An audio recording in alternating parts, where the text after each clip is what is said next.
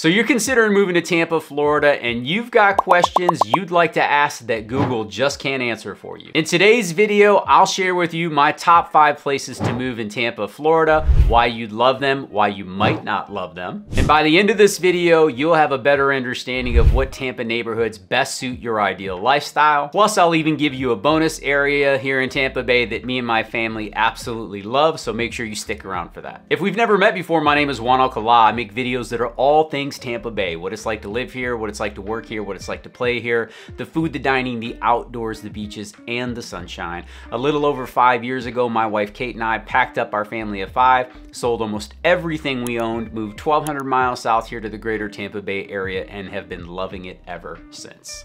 I'm also a licensed real estate agent and a team leader here with the True Living Group, where we help people just like you buy, sell, relocate, and invest here in the greater Tampa Bay area. However you got to get hold of us, just feel free to reach out. All my contact information is listed down below. Heck, there's even a link to my calendar so you can schedule a time that's most convenient for you. Now, Tampa Bay is one of the gems here on the west coast of Florida. And if you're not familiar with the entire area, you know, Tampa Bay is here in the central west region of the state. Uh, the greater Tampa Bay area has about 3.2 to 3.3 million residents. We'll see when the next census comes out, but somewhere in that range. And it is the furthest western point of the state until you get way up north in the panhandle there.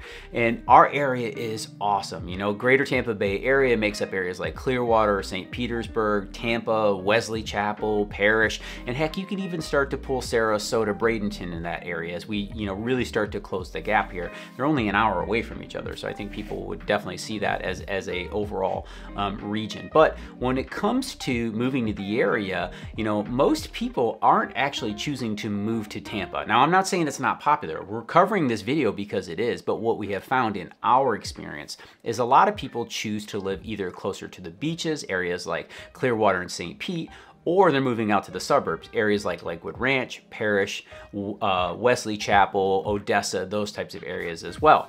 But today we're gonna be focusing on the specific neighborhoods within Tampa proper. And if you've never been to Tampa before, it is an absolute awesome city to go explore and enjoy.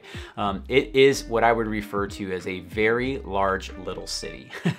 and when you arrive, you'll kind of get a sense for that. We have the skyscrapers and the tall buildings, but it's not massive and it's not overwhelming. And that is one of the things I absolutely love about the city of Tampa. Do we have heavy traffic at certain times? Are there areas that are more congested? Are there pros and cons when it comes to living here in Tampa Bay? And the answer to that is yes. In today's video, we're gonna cover five specific neighborhoods and, and, areas where we see people choose to move. And some of them are absolutely lights out and they're also super pricey. So I wanna keep that in mind. And other areas have more to offer in terms of um, maybe a little bit more affordability and the different type of lifestyle. And that's why we're gonna get into these uh, neighborhoods today specifically. And I can't wait to share this list with you. Now, if you're someone who enjoys the hustle and bustle of a city, then downtown Tampa is gonna be for you. Now, when it comes to the pros of living in Tampa, you know, you're gonna have access to world-class entertainment, amenities, activities, walkability, public transportation, dining, restaurants, uh, shops, boutiques, uh, sports venues. I mean, there are so many things you get to do when you live in downtown Tampa. I mean, we're a sports crazed city. You've got the Tampa Bay Buccaneers that play up in Raymond James Stadium. Right across the street from there is actually Steinbrenner Stadium, which looks like a mini replica of Yankee Stadium where the Yankees do spring training. You've also got Amalie Arena, which is where the Tampa Bay Lightning play right on um, the, the river there. So you can jump on the Riverwalk. And if you've never been on the Tampa Bay Riverwalk, you are missing out. It is actually rated one of the best riverwalks in America and has been rated the best riverwalk in America also. That's something to keep in mind. But you've got, um, you know, sports. You've also got concerts because of those venues as well. You've got the Tampa Convention Center, which brings a ton of people in every year for all different types of events. Um, you know, we just had the giant pirate invasion that last over a month. Uh, we just, this past weekend, did the River O Green where they dyed the Tampa uh, River Green for St. Patrick's Day. People are running around everywhere. It's a great party, a place to go have fun and hang out. I mean, how can you not like St. Patrick's Day when it's 75 and sunny outside? It's very hard not to love that, right? So this city gives you a lot of access. Now, the people that you're most likely to see down there when you when you go into downtown Tampa is all kinds. Tampa is very diverse. And you can check out sites like niche.com where they'll speak to that type of diversity. But I also want you to be aware that the city itself is very young. 35.9 years of age is the median age of the resident here in Tampa.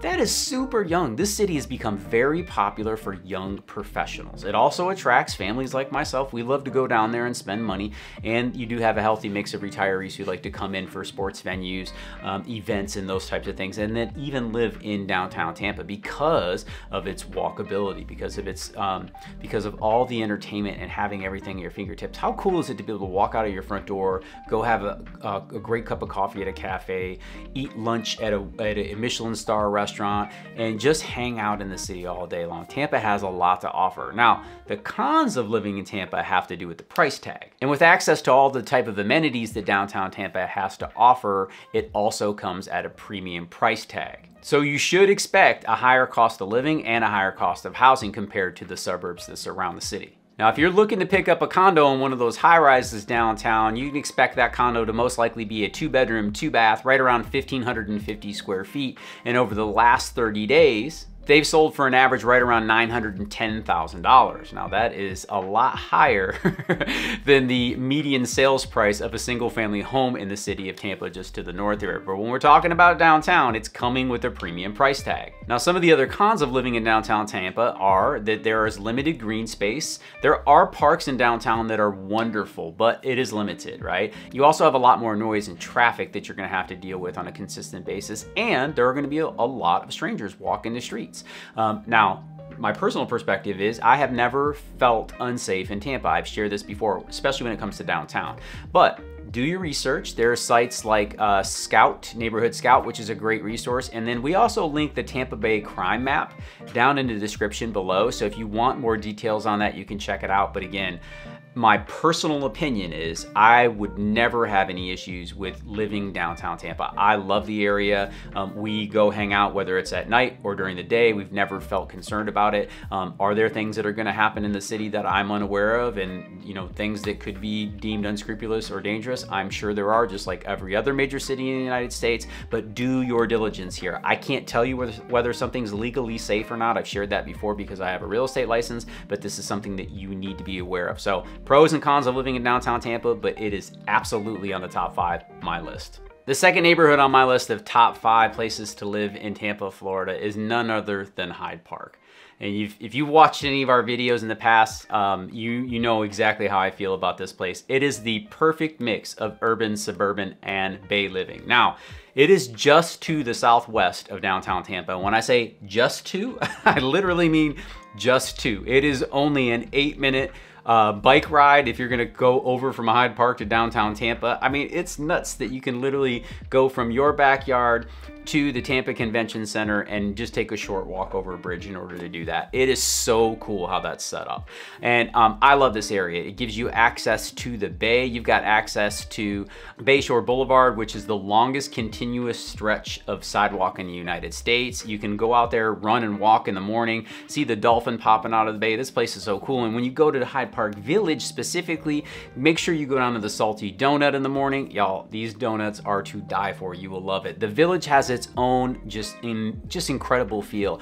You walk around, there are people out shopping, there are great restaurants, you can smell the food, you can head over to Bar Taco, you can go over to the meat market, you know, and have one of the most incredible steak dinners you've ever had. Make sure you go over to Buddy Brew and get a cup of coffee. Uh, all the boutiques and restaurants that are down there, head over to West Elm to fill up this beautiful home that you're about to buy. There's a lot to be desired here in the area and you're not gonna be disappointed. There's even a theater down there. Now there is parking, which is really cool. The one thing about downtown Tampa, even though we have parking garages, parking spaces on the street are very limited, and they're limited here in um, in Hyde Park also. But there are two public parking structures that give you access to a lot of um, parking spaces, so that's usually not a problem. Great restaurants like Nampano down there, and then again, uh, I love Sprinkles. There, there's so many different things you guys can go do down there. Our kids love going. Took my daughter Eva down there for her birthday. She absolutely loved it. Now, those are the pros of living in Hyde Park. What are some of the cons of living in Hyde Park? Well, one of the cons could be, and this is not a con for everybody, but it is a con for most people, is that a three bedroom, three bath, 2,200 square foot home in Hyde Park is gonna cost you right around $1.7 million on average. and most people do not have access to that kind of income. But for the ones that do, this is that area that you want to make sure you check out because it is absolutely stunning, y'all. The mix of, of old craftsman style and bungalow homes and the old growth oak trees that hang out over the streets, it just has that classic Americana vibe to me. But like I said, it is the perfect mix of urban, suburban, and bay. It will not disappoint. So the third area on my list here is Davis Islands. Now, when you're looking at a map here, the thing I want you to recognize is all of these areas are very close together. This one is just south of downtown Tampa. And um, this is, we've, we've done videos on this area before. I always say this is where the other half live. You know, this is where Tom Brady had a home. This is where a lot of the athletes tend to live in the area. Not all of them, but they tend to live in areas like Davis Island. Um, you got Tampa General Hospital right over here also. Um, and one of the fun facts of Davis Island is it's a very scenic view when you're riding around around. But one of the fun facts here is there is actually no street lights. There's not a single stoplight um, on Davis Islands, but it gives you access to a lot. There are a little over 3,000 um, homes and condos on the islands. Um, and so it's a very tight knit community, small. It's a great place to go run or, or, or ride a bike. And the community is um, very open, right? What I mean by that is like, it feels like inclusive and like it's just very welcoming. Every time I've been to Davis Islands and just to go hang out or spend time, um, you know, it's just been a really enjoyable experience. And again, knowing that all you have to do is cross a very small bridge to be right back downtown, there's no wonder people love living here. It does have its own private airport. That is something that is really cool, hence the reason why athletes probably live there. And one of the things I absolutely love here about Davis Islands is its laid back feel. You'll notice that right away once you cross over onto this island here,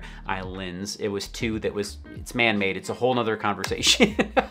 I did this on a video before because it was really hard for me to understand when I first moved down. I'm like, that's one island, but we're calling it Davis Islands. And um, there was a gentleman who took the property and put it together and then he sold off the lots, but we'll do that in a whole nother video. Now, what are the cons of living on Davis Islands? Well, just like the exclusivity in Hyde Park breeds extremely high real estate prices, it also does that in Davis Islands. I mean, I shared just a couple weeks ago that there is a vacant piece of land on Davis Islands that is for sale for $10 million. I mean, those prices are insane, y'all. And they get those. And um, they tear down houses that cost multi-million dollars to buy and they are building up new ones on those uh, lots and they are getting a healthy premium for them.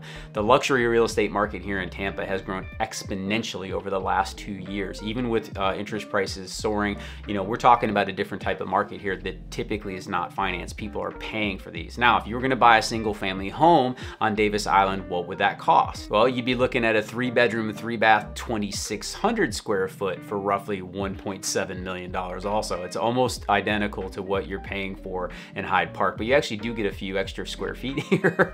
um, it, it, was nominal at a, at a couple hundred extra square feet, but those things do matter. Again, this is one of the more exclusive areas in all of Tampa, so keep that in mind. If that is uh, what you're looking for, is that the type of lifestyle that you covet, then you're definitely gonna wanna check out areas like Davis Islands and Hyde Park Village. You're gonna love both of those areas. So the next neighborhood on our list is one that has undergone a remarkable transformation over the last few years. It's really well known for its trendy bars, its family-owned restaurants, its thriving art, its Saturday morning market, and its proximity to Armature Works. And if you've ever heard me talk about Armature Works, you guys know it's one of the places that Kate and I love to go.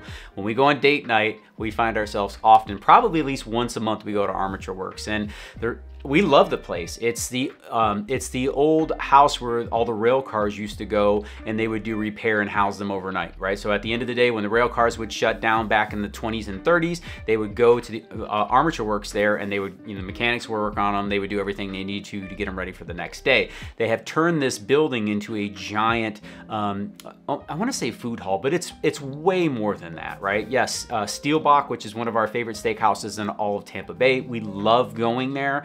Um, that is one of our favorite places to go. But they've got places like Empamama. They've got Hemingway, where you can get a great Cuban sandwich. They've got um, Astro ice cream. They've got sushi there, pizza. There is a cocktail bar. You can eat outside. They put a Christmas tree. We've done um, movies on the lawn there. Our kids love to go there. There's a great restaurant called Gray's. They make one of the best hamburgers that um, I absolutely love in the area. There is a Buddy Brew coffee there. You guys know how much I love Buddy Brew.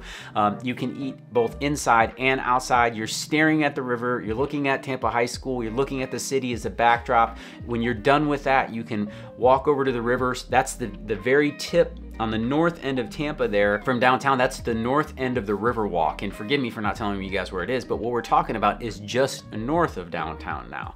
And uh, so again, you're at the north end of the Tampa Riverwalk. You can walk all the way back down to Channel Side, which is amazing. So these are areas that are worth checking out and you will not be disappointed. And a huge plus of living in Seminole Heights is the cost of living. This comes far more in line with the median cost of a house here in the greater Tampa Bay area. And right now you can find a three bedroom, two bath, single family home home that's about 1,400 square feet in that $436,000 price range over the last 30 days. That is far more affordable than the 1.7 million we've been discussing over the last two or three areas. So that is something that is a huge pro when it comes to living in Seminole Heights. Now, some of the cons of living in Seminole Heights are this area is still undergoing this transformation that we're speaking of. And, you know, there are a lot of older homes there in the area. Some of these homes are 80, 90 years old. The streets are a little bit tighter. Again, we're limited on parking. Some of these areas where you have these bars and restaurants, it can get a little bit noisy. Nothing that's out of control, but this is one of those areas, right? Like you have to keep in mind what you're seeing. Usually when things are cheaper, that usually is for a reason, right? It may not be the best quality quality. There may be areas that still need improvement. Um, there's just a lot of things to consider. So like I said before, make sure you're doing your diligence on here, but this is one of those areas we see young professionals. Um, I know people love to make fun of hipsters, but that's definitely who you're gonna find here. Um, the area is really diverse, so that is something to keep in mind too. Again, you can check all of the information that I'm that I'm sharing with you right now on, on websites like niche.com. That's a great website to use. We use it all the time. Neighborhood Scout, that's a good one to go for a crime. And then again, I always put the Tampa crime map in the description down below so you guys have access to that. Now that brings us to the fifth area that made my list of top five places to move here in Tampa. And this area is actually been recognized as the number one suburb in all of Florida, by the way, not just Tampa. And that is none other than Westchase. Now we've done lots of videos on the pros and cons of Westchase, the benefits. There aren't a whole lot of cons to be honest with you. Um, but we've done a lot of videos on there. We will make sure we link those in the description below. As a matter of fact, I'll put one up at the end of the video, so stick around around for that so you can go right into Westchase if that is your bag. Westchase is definitely more of the suburban feel compared to the other areas we've been looking at. The other areas I would say are a, a much more keen mix of either urban and suburban. Um, this one tends to lean far more to the suburban end of the spectrum. It is still in Tampa. It is a master planned community. I know not everybody's heard that term before, but basically before they broke ground, they designed the entire area. Every park, every neighborhood, uh, every location where shops were going to be before everything, anything was ever built. And um, if you've ever lived in an old city, you know that that's not common. So to see that, it feels entirely different. And on and for a reason, it was done intentionally. So it's got a different feel to it. Now, Westchase is one of those areas that ranks really high on education here in the greater Tampa Bay area, according to Niche. And it also ranks really high in terms of diversity. So take a look at those. If those things are important to you, this is an area you're going to want to take into serious serious consideration. Now you do lose some of that urban feel and you're definitely gonna lose some of that bay feel as well because it is about, you know, 10 or 15 minute drive time to see the water again. Um, and that's just to the south of you. And for those of you who aren't aware, Westchase is up to the northwest side of Tampa. That is literally the last of it. Then you get into Oldsmar. Um, so something to keep in mind there also. But man, what a cool area. The park down there is awesome. I've showed you guys the shops before. I mean, you've got a Costco in your backyard. You've got Home Depot You got all the shopping you could ever ask for. Again, the schools are top rated when it comes to schools in the greater Tampa Bay area. You have access to either single family housing, townhome. Um, there's even villas over there, which is really cool. Also, there are apartments in the city center. There's like this uh, Main Street type of area down there. You got a fountain. The kids are always playing. There's parks over there too. It's a really, really cool spot. I love the area. You've got tennis, golf, swimming pools, everything you could ever ask for. There are gated communities there. Also, there is a lot to love about living in Westchase. Oh, and one of the things I forgot to mention there is you're only about 35 minutes away from Clearwater Beach too, one of the best beaches in America according to TripAdvisor. Now, some of the cons of living in Westchase is the traffic can be a little bit heavy. Most people who live in Westchase tend to work downtown. Uh, they'll work at the universities or they'll work at the defense companies, right? Companies like Lockheed Martin, you know, those are areas that Honeywell, those, those types of properties. They might work at USF, they might work for the hospital system. So people here tend to commute, which does put a little bit more strain on traffic, especially during school hours. That is something to keep in mind because it's going to be busy. Uh, also, the housing here is not cheap. The average home that sold over the last three days was a three bedroom, three bath, 2,500 square feet and sold for roughly 700 $156,000. So that's not inexpensive. We were just talking about Seminole Heights where it was 430.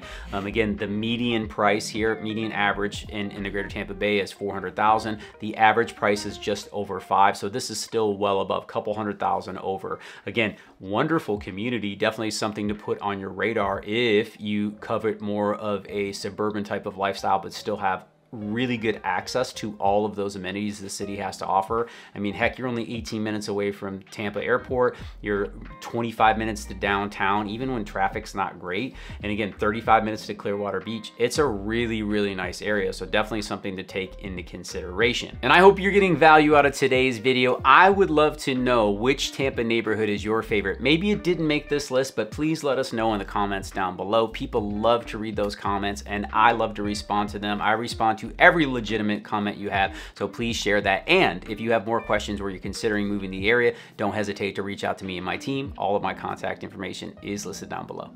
Okay, and I promised you guys a bonus area and I wanted to share that with you. I'm not gonna get into the sales statistics about housing and all those other things, but here's what I want you to know no matter what area you choose here in Tampa, I gotta be honest with you, there is something for everyone. If you prefer the urban living, you can be right downtown, right? If you want that perfect mix of bay, urban, and suburban, you can do areas like Hyde Park, you can do areas like Davis Islands. These areas are just awesome. If you prefer something that is, you know, going through a more transformational type of living, which some people do love that. They love to see a city evolve, then Seminole Heights might be right up your alley. If you're someone who, you know, covets having really good schools, having a lot of diversity and a more suburban feel, then Westchase may be that area for you. Again, it was voted the number one suburb in Florida. So I think that that is super important to take note of. Now, if you wanna just get out and go check out a great area to go hang out, my recommendation is go check out St. Pete. Now, St. Pete living is not for everybody. Again, it's got that very unique mix of urban and suburban also. Um, you could live in a high-rise condo staring at the bay if you want. You can be looking back at your, your, your friends there in Tampa, or you can live closer to the beach, St. Pete Beach if you want. So it gives a lot of access, but the thing I love about St. Pete is it is a vibe. All the things we have happening in downtown Tampa are amazing. There's a lot of new things that, that people are starting to discover, and there's a lot of rich history in Tampa also. But St. Petersburg offers a vibe unto its own and it is worth checking out. Now, I take people there and they like, I can't believe this is what this city is because they've been told lots of things about St. Pete. And St. Pete, uh, from my understanding, and I have not lived here for more than five years, right? I've been here just over five and a half years. I didn't see St. Pete 10 years ago. I didn't see St. Pete 15 years ago. And my understanding was pretty rough. It is not like that now. Now, are there areas that aren't perfect? For sure, but that's not what's important. Go down there, enjoy the nightlife. Go down there, have a great meal. Go walk on the bay. Go check out the marina. Go check out the art. You can go to the Dalí Museum. Go see a soccer game at the Rowdies. There's so many things you can do over there too. And I'm not here to tell you that one is better than the other. I just want to make sure that you guys get the most out of your experience here in the greater Tampa Bay area. I hope this video has helped you. If you have any questions about relocating to the area or buying or selling, please do not hesitate to reach out to me and my team. As always, all of our contact information is listed down below. Heck, there's even a link to my calendar so you can schedule time that is most convenient for you. And I'm gonna let Google put the videos up here that I think make the most sense. I'll make sure I put that Westchase video up here so you guys can check that out. And until next time, go out and live that Tampa life.